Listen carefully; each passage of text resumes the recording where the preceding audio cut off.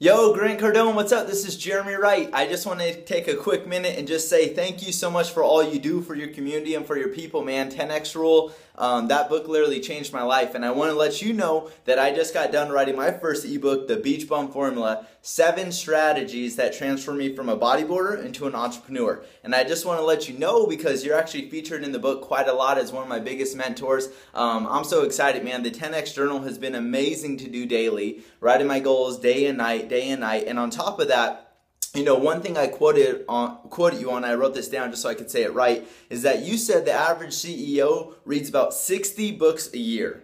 The average CEO um, attends more than six conferences a year, and then the average American reads less than a book a year.